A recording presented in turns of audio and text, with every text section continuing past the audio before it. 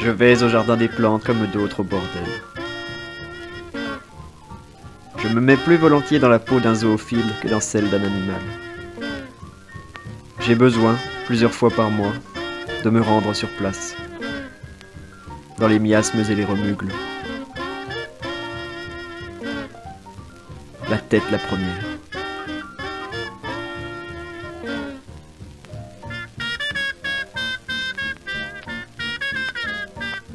Comme un cancéreux déjà bien atteint va à sa séance de rayons,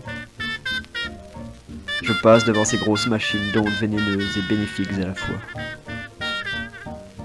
Pas plus de dix minutes. Elles sont si puissantes. Nous sommes les fidèles des animaux. Et dans une ville, le zoo est la vraie église. Si je m'arrête longuement devant la prison des gibbons, c'est pour me recharger de gaieté. Les gibbons sont les plus incroyables symboles vivants de la joie d'exister et de mourir. Étoiles filantes velues, catapultées au lance-pierre de leur propre détente. C'est de la joie à l'état pur et simiesque. La brachiation est peut-être le seul mode de déplacement contre la névrose.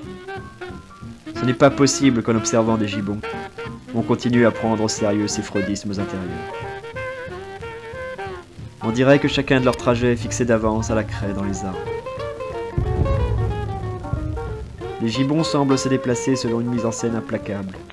Le plus grand des danseurs en état de grâce, ou le saint le plus ascensionnel, est tout bonnement ridicule près des vols planés de ces singes surhumains, qui marchent dans les arbres comme d'autres sur l'eau.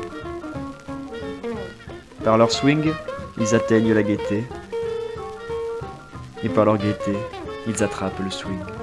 Ce sont les plus jazz des animaux. La gaieté est une partition de singes qui dansent de grâce. Des notes de musique poilue qui dansent sur une portée de branches. La gaieté est la plus grande injure que l'on puisse lancer à la face de la vie. La vraie gaieté, pas la rigolade. La gaieté de haute voltige.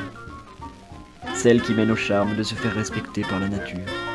Tout prendre au tragique, rien au sérieux disait Elifort déjà. La gaieté non plus n'est pas une plaisanterie.